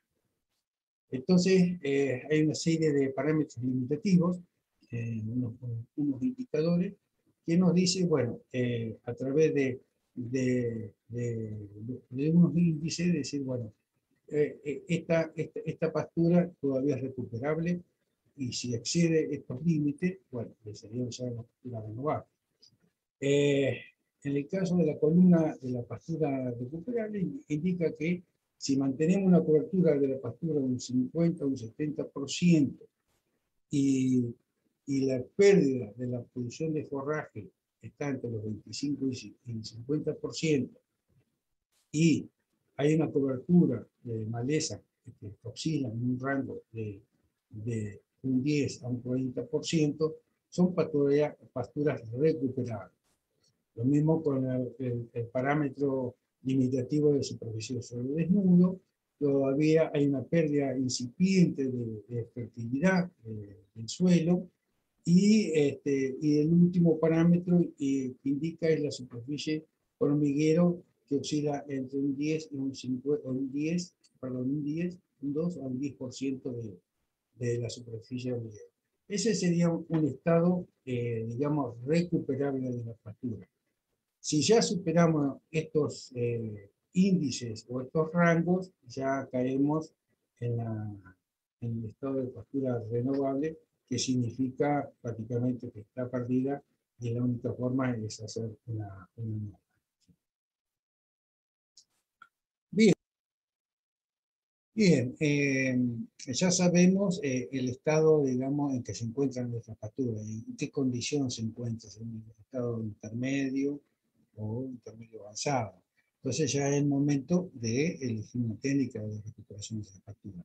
Y ya como habíamos visto, eh, está de acuerdo al origen de esa degradación, o la, causa de esa degradación, o las causas, porque por ahí son varias las causas, a veces no es una, el tipo de suelo eh, en que está implantada la pastura, y bueno, y analizar, por supuesto, la, la, la técnica eh, el costo que, involucra e, esa recuperación. Eh, hay una serie de, técnicas de recuperación de la factura. Eh, ahí es una, una lista de, técnicas que generalmente, bueno, no solamente se usan en, en, pánico, sino en llorón, donde hay mucha experiencia, pero bueno, Tal vez la, roturación del suelo a través de una labranza, una herramienta de labranza, este, es la, más frecuente que se usa, ¿no es cierto? Eh, eh, también eh, está asociado a esa roturación una resiembra. generalmente se usan estas herramientas que se encuentran en, la región, en, la roturación. El cincel tal vez sea la herramienta ideal, eh, es la que por ahí eh, posiblemente es la que menor eh, impacta o perturba a esa pastura, al no dar vuelta el suelo, si hace una, una, ruptura de esas capas superficiales y superficiales muy importante. Este, así que el cincel tal vez sea la, la herramienta más usada en, este tipo de técnica. También se encuentra en la zona, en algunos, en algunos establecimientos, eh, rastra de disco, eh, principalmente, la, la, rastra, y como ven en la imagen, bueno, también eh, están adosados o está adaptado los cajones en el sembrador, ¿no es cierto? Que eso también es muy útil porque eh, dentro de la técnica, no solamente de la ruptura de la, de la parte este, digamos, de, de compactación, quizás es muy importante, eh, lo que significa eh, la, e, esa acción de estimular toda la minimización de la materia orgánica, de poner disponible el nitrógeno, la, todo lo que significa, ¿no es cierto?, la captación y, la infiltración del agua, la circulación que pasan las raíces. Así que ya de por sí la, la roturación, una de las técnicas más importantes. Eh, y bueno, como había mostrado anteriormente eh, estas herramientas, en algunos casos, bueno, eh, como el momento de, de, esta roturación se aconseja, digamos, eh, antes, antes de que llegue la primavera, cuando todavía la pastura está en estado de reposo, Este, ahí es el momento, digamos, de, de hacer esta, esta rotulación y a veces se aprovecha, o sea, son en los meses de, de, junio, julio, agosto, ¿no es cierto? Este, y se aprovecha si la herramienta tiene un cajón de, de sembrador, de, de eh, aprovechar de tirar algo de semilla, en este caso de pánico, o a veces eh, alguna semilla de, de, de verdeo, ¿no es cierto? Este, o de, de, alguna leguminosa. Eh, otra de las técnicas este, que también se usan, se está usando últimamente, eh, son las intersiembras con leguminosas. Eh, hoy en día se encuentran herramientas este, de sembradores directa, digamos, que lo permiten, ¿no es cierto? en este caso, también eh, eh, hay que ver el, estado en que se encuentra la pastura, si puede permitir el tránsito de la, de la, de la sembradora. Eh, generalmente se usan leguminosas como vicia o, o melilotus. Estas intersiembras se realizan más temprano, no hay que esperar, digamos, todo reposo de, de, la pastura porque no, no es necesario. Generalmente como para ganar digamos, el tiempo y el desarrollo de esta leguminosa generalmente se hace a fin de marzo o en abril, ¿no es cierto?, cuando las condiciones lo permiten. Eh, las densidades que se usan de esta leguminosa eh, hay que ser moderado, eh, andan alrededor de 10 a 15 kilos, no más, porque bueno, en el desarrollo de, la leguminosa, digamos, eh, puede, puede tapar la pastura. Eh, ahora les voy a mostrar algunas imágenes. Eh, también otra técnica que se usa es la fertilización nitrogenada o, sulfatada, la clausura temporal del lote.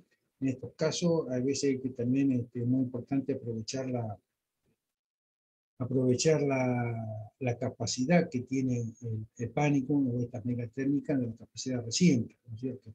A veces cuando hemos perdido por alguna causa eh, densidad de la pastura, eh, la clausura eh, del lote para que la, la pastura semille eh, es una, una, una técnica eh, válida e importante. Eh, también otra técnica es la, la, reducción de la población de maleza, principalmente de paja, como había comentado, porque por ahí esta, estas especies son nativas, están más adaptadas al medio y bueno, y a veces este, por algunas circunstancias de manejo, etcétera, eh, se instalan y, y, bueno, y puede ser que vayan ganando terreno. Eh, hay herbicidas, que en momentos, ¿no es cierto?, que que se pueden aplicar y reducir esta población. Y bueno, y puede haber la combinación de, de las anteriores, ¿no es cierto? Eh, reducción de, de, población de pastura, o fertilizar, o rotulación y fertilización, ¿no es cierto? Y por supuesto que estas, eh, estas eh, técnicas eh, es importante mantener además un, manejo adecuado de las pasturas al tratar de, de evitar el pastoreo. Bueno, eh, simplemente acá es recordar que, que, el agua y los nutrientes del suelo son los, grandes limitantes de la media de pampeana y bueno, si hay compactación va a complicar un poco más las cosas. La posibilidad de éxito de una recuperación de la pastura está siempre, eh, siempre va a ser mayor cuando sean realizadas en tiempos, eh, en etapas eh, iniciales del, interior. Bueno, acá les quiero mostrar eh, una aplicación eh, de glifosato para el control de puna en la zona de la Carlota. Eh, la aplicación del glifosato, esta era una pastura que tenía mucho avance de, de de paja, y después de, de, casi cuatro años, y bueno, en el mes de agosto del 2018, eh, casi el límite de la aplicación, se le aplicó aproximadamente un litro 800 de glifosato full y mató ayudante. Y bueno, el control eh, se puede decir que fue aceptable. El puna generalmente más chico, digamos, estado plántula, lo controló muy bien. Lo que por ahí, lo que era el puna más grande, más desarrollado, fue parcial. Este, Pero bueno, el control se redujo la población de, de, tuna eh, con la aplicación de glifosato en el periodo oportuno, porque bueno, fue, la pastura estaba en estado de latencia.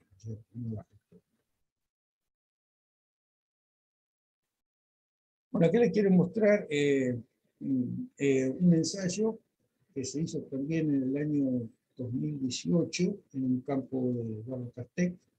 Eh, era una pastura que estaba bien implantada, tenía avance de, maleza, principalmente paja, no todo el lote, en sectores del, del, potrero, y bueno, y el lote también tenía un historial eh, de muchos años de agricultura, ¿no es cierto? Que eso provocó, ¿no es cierto?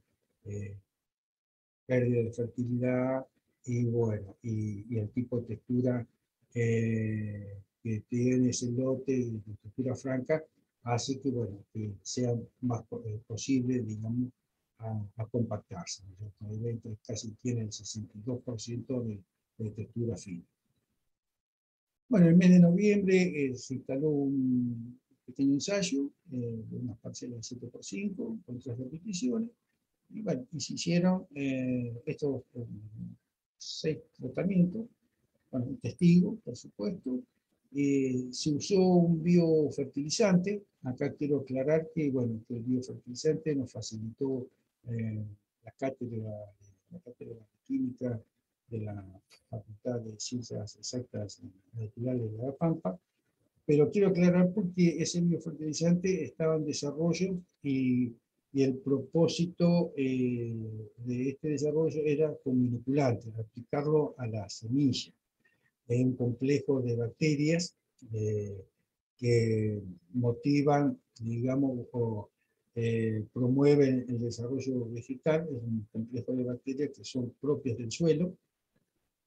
Y algunas bacterias son activas toman el nitrógeno, eh, el nitrógeno gaseoso del aire y lo transforman en, nitrógeno biológico para aprovechar las plantas. Hay otras bacterias eh, que tenían capacidad de suministrar el fósforo en el suelo, entre, entre otras bacterias. Pero bueno, quería aclarar porque eh, el tratamiento que hicimos con este biofertilizante fue aplicarlo al suelo, no en la semilla porque ya la pastura estaba implantada. Eh, se hizo eh, otro tratamiento con 100 kilos de fosfato monomónico, un tratamiento P. Eh, de, otro tratamiento fue 100 kilos de urea con 50 kilos de fosfato diamónico, que denominamos NP. Y después se agregó un tratamiento de 100 kilos de urea y otro de 150 kilos de urea, lo que denominamos NP. Eh, este fue un, ensayo con tres repeticiones. Bueno, aquí está esta imagen, eh, es el, estado de la pastura, ustedes como ven, eh, una pastura bien implantada, un buen de plantas, pero bueno, no tenía producción. todo que no producía. y en, este, en este tipo de, de pasturas hizo el ensayo. Bien, acá tenemos los resultados de, de, los, de los, tratamientos del ensayo. Eh, hicimos dos cortes, un corte de, verano, el 15 de enero, que fue la producción de primavera de la pastura, y un segundo corte, que fue el 8 de mayo, que fue la que se trató las, las precipitaciones, como dato, no fueron, eh, fueron discretas, digamos, este, mes los meses previos al ensayo había llovido poco, llovió noviembre, diciembre y enero, bien, y después hasta el segundo corte eh, fue bajo la, la. Bueno, lo que se quiere reflejar acá, que el tratamiento testigo, digamos, muestra, digamos, la baja productividad de la factura, supera apenas los 900 kilos de materia seca, y destacar el el tratamiento de, del nivel más alto de nitrógeno que se aplicó, que eran 250 kilos de, de, urea, que fueron eh, cercanos a los 2400. Y este, la combinación de nitrógeno y fósforo, que era el tratamiento de 100 kilos de urea y 50 fosfato que fueron los, dos tratamientos que más se destacaron en el ensayo. A pesar de, acá quiero, que, quiero mostrarles que, a pesar de que el tratamiento del fósforo solo, eh, que eran 100 kilos de fosfato monomónico, eh, fue, no hubo respuesta, a pesar de que en un suelo que tenía muy bajo nivel de fósforo, lo que demuestra que, bueno, que la limitante en este potrero principal era el nitrógeno.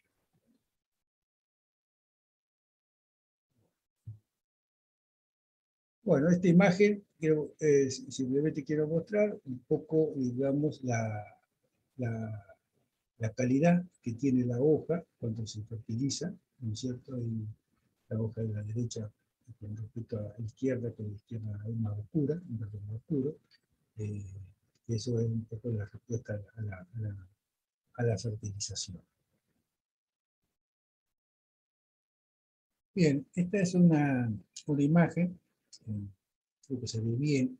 Esta es una, foto de, que me, nos envió eh, gentileza un productor de, de eh, que una imagen que se ve la vicia intersembrada entre el pánico, que todavía está, está seco. Eh, acá se usaron alrededor de 12 kilos de, de vicia.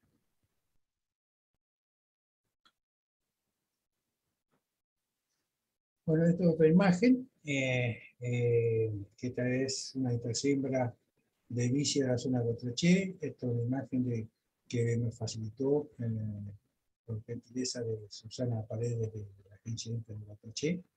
Ahí vemos una sembradora del cajón con, con la vicia, es una mini Hoover, que bueno, está sembrando una pastura que lo permite, como ven, eh, pastoreada en otoño y, están, la están intersembrando. Ahí se ve cómo las cuchillas de la sembradora hacen un corte importante, interesante en la capa superficial del lote, que, bueno, que, ayuda a, a, romper un poquito la, alguna parte. Eh, también hay que destacar eh, que es importante la, la inoculación de la, esta leguminosa. ¿no? Eh, cuando se piensa en Vision, en el Lotus, hay que, hay que inocular. Esta también es, fue sembrada, eh, intersembrada en el mes de, abril. Bueno, ahí vemos el mismo lote y ya con la vicia eh, eh este, brotando, desarrollándose, el pánico todavía está seco, en la zona de Bueno, y acá, ya en el mes de noviembre, vean cómo está cubierto el lote de, de vicia. Eh, eh, y acá habían usado 15 kilos de, de alrededor de 15 kilos. Eh, creo que es una densidad ya importante. Este, porque bueno, cuando empieza a desarrollarse la vicia, cubre todo el lote, cubre la pastura, y bueno, hay que tener en cuenta que las megatérmicas, sea llorón o sea pánico, eh, ya en este periodo, en esta etapa, ya necesitan luminosidad y temperatura para, para rebotar. Eh, no hay que extender mucho la, la, la vicia, este, porque, bueno, eh, tapa, sombrea y bueno, ya la fijación de nitrógeno en esta etapa ya es importante. Bueno, acá se ve en el mismo lote, eh, como que ya está el pánico. El mismo lote eh, ya tienen, bueno, ahí se ve en la imagen eh, que ya están puestos los, animales para despejar a, la pastura. Vean cómo, cómo cubre la vicia la pastura. Eh, de cualquier manera, con un manejo racional, eh, siempre, eh, siempre va a haber alguna vicia, plantas de vicia que van a semillar, o sea, que van a, permitir, digamos, una resiembra natural para, la próxima, para el próximo periodo. Bueno, esta es una imagen interesante de la aplicación de un cincel. Esta es una imagen de fin de noviembre, principio de diciembre.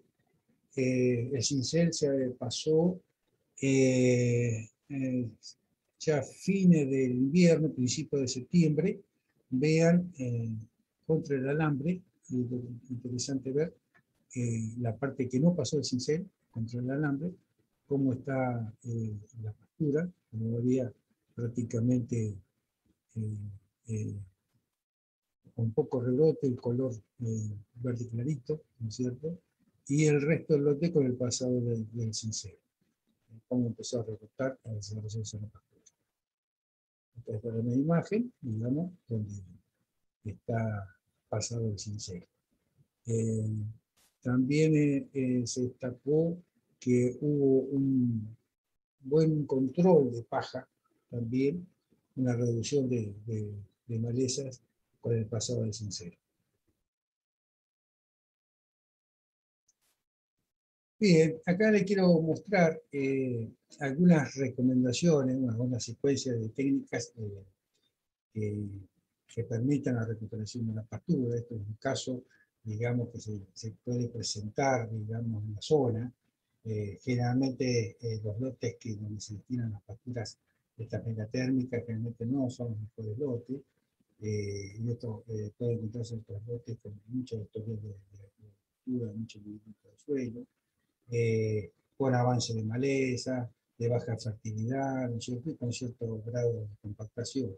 Entonces, bueno, ensayando y analizando algunas recomendaciones técnicas a que le queríamos mostrar, este, por supuesto también analizando la, parte económica, ¿no? Eh, la factibilidad de, de, poder recuperar o rehabilitar estas pasturas.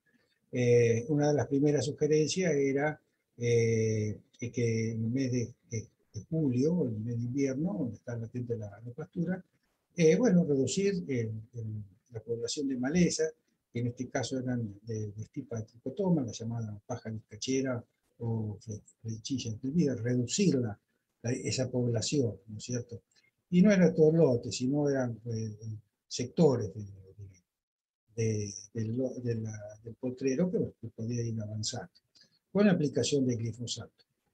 A continuación, otra de las recomendaciones inmediatamente era de postergar, eh, eh, a pesar de que la pastura eh, estaba bien implantada, eh, estaba, digamos, en un, estado de, digamos, de, pérdida de vida. Entonces, lo que se puede sugerir es que postergue el pastoreo, postergue la entrada hasta medio diciembre, enero, como para, que, para favorecer un poco el vigor de, la, pastura y con un manejo del pastoreo rotativo. La, continuando un poco con las técnicas, eh, luego le recomendábamos en el año siguiente, eh, en invierno, eh, descompactar el suelo con alguna mesa vertical, ¿no es cierto? Porque bueno, era un, suelo que tenía pérdida de, estructura, ¿no? Por el tipo de, textura que tiene el, otro, un suelo franco. Y, y por último, una de las recomendaciones era eh, de continuar eh, y poder aplicar, digamos, ya que estaba el, suelo ya descompactado, en otoño, digamos, una, una intersiembra de, leguminosas que, aportaría no, solamente eh, calidad forrajero, sino también fertilidad, fertilidad en el suelo. ¿no es cierto? Y por supuesto,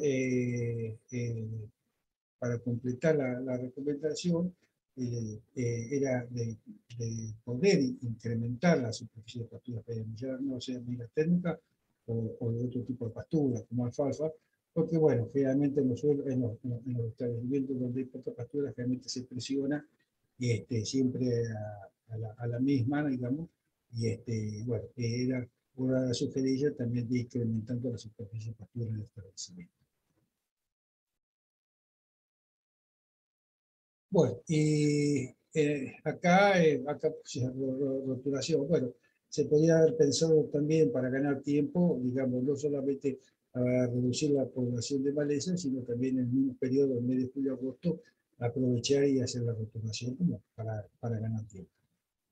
Bien, bueno, por último, eh, quiero mostrarle una publicación técnica eh, que salió hace poco, con, que la escribimos junto con, con Ruiz y Eugenia Rossi, que está en forma digital, esta publicación en la biblioteca de la, de la de y bueno, es un trabajo que rescata toda la información generada por los productores, por los, productores en sus condiciones ambientales particulares. Es decir, este, bueno, todo lo que genera eh, el, toda la información que ha generado el INTE, la universidad, eh, ver cómo los productores adaptan ciertos procesos tecnológicos para la implantación del PAN. Así que bueno, está disponible. Eh, bueno, bueno, eh, bueno, quiero agradecer su atención y bueno, cualquier consulta eh, estamos a su disposición. Muchas gracias.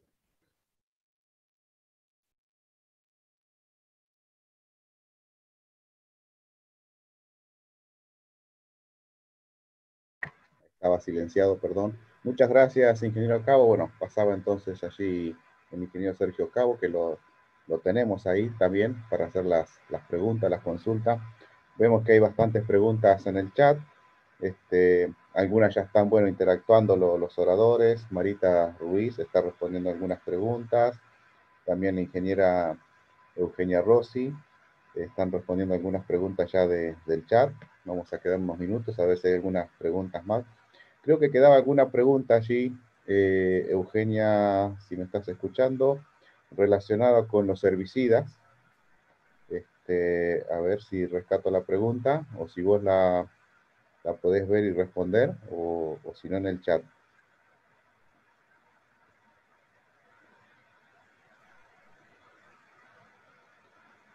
Bueno, por las dudas que tengamos algún problema de conexión, que es lo que sí estaba un poco previsto, estamos todos en distintas localidades, entonces, bueno, muchas veces se, complica la, la conexión. Pero por lo que recuerdo de la charla, para quien hacía la pregunta con respecto al tema de los herbicidas, eh, el Lontrel era el herbicida que por lo menos hacía, eh, afectaba menos al cultivo de Panicum en las primeras etapas. Después, bueno, las otras combinaciones siempre había algún, algún porcentaje de, afectación, pero si la pregunta era cuál era el que menos afectaba, creo que era el, el Lontral, así que... Hola, Marce. Pero bueno, a ver. Ahí está, ahí está la ingeniera, la ingeniera Rossi. ¿Se me escucha? Sí, perfecto. Tengo, abrí el YouTube, no sé si ustedes lo están escuchando a la vez, ¿no? Sí, sí, perfecto, perfecto, Eugenia. Bien. Em, dame un minutito que, que tengo que... Bien, eh, había una consulta sobre herbicidas, me parece. Y bueno, lo que quería comentarles es que tenemos experiencias eh, que no fueron muy positivas con respecto al glifosato en médanos, en, suelos muy arenosos con eh, valores de materia orgánica muy escasos.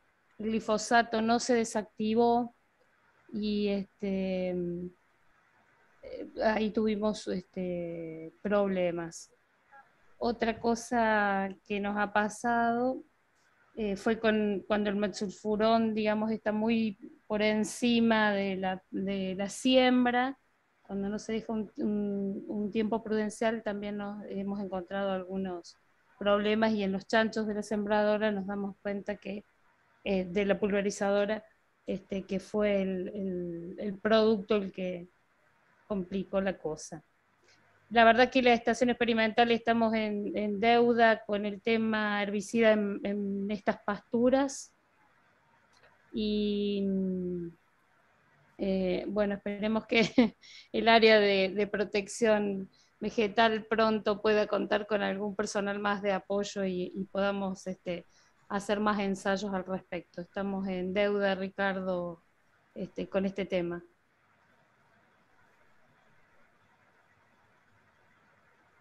Hay una pregunta allí para Sergio, si me escuchás. Eh, sí, te escucho, Marcelo. Si, hubo algo, si tenés alguna experiencia en el uso de subsolador. Eh, no, no hay experiencia de subsolador, este, Marcelo. Este, hay que recordar que, bueno, en el tema Panicum, eh, digamos, dentro de las pasturas megatérmicas, comparada con pasto llorón, eh, es, diferente, pero con, con subsolador no hay. Tal vez en Guatraché se ha usado subsolador, pero en otro tipo de pastura, en suelos más, más densos, más pesados. Eh, seguramente sería importante eh, trabajar en ese tema, pero bueno, los mejores resultados dentro de la, de, la, de la, charla en lo que es pánico, ¿no es cierto? Eh, ha sido, digamos, de las labranzas verticales el, el que tal vez ha sido el menos agresivo, digamos, en la pastura. Bien, muy bien. Bueno, ya muchas preguntas fueron respondidas con la interacción entre los oradores y las consultas y bueno, haciendo un poco también honor a los tiempos, que, que, sí, es cierto, yo un poco ya a esta hora del día la gente llega un poco cansada, así que bueno, este, vamos a dar por finalizado. De todas maneras, les decimos que allí en las presentaciones están los correos electrónicos de los tres oradores, de la ingeniera María Los Ángeles Ruiz, eh, perdón, licenciada María Los Ángeles Ruiz, la ingeniera Eugenia Rossi y el ingeniero Sergio Cabo. Así que para comunicarse con ellos, y si no, bueno, este, la estación experimental del Intanguil, eh, pueden comunicarse, pueden llamar por teléfono y allí seguramente serán atendidos. Este, nosotros, desde aquí de nuestra parte, simplemente, bueno, les agradecemos a los tres, a los tres oradores y por supuesto a, toda la gente que nos ha estado siguiendo y nos ha estado escuchando en, en esta transmisión. Eh, los esperamos el próximo jueves, ¿eh? ¿sí? el próximo jueves ya con digamos, el último encuentro de este ciclo de jornadas sobre pasturas perennes. La idea el próximo jueves es conversar un poco sobre agropiro y mezclas de gramíneas. Así que de mi parte, de parte de la Estación Experimental de Irintanguil y la Facultad de Agronomía, les digo muchas gracias y los espero dentro de una semana.